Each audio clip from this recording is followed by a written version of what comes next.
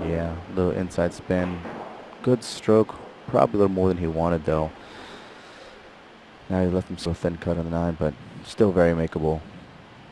I foresee him.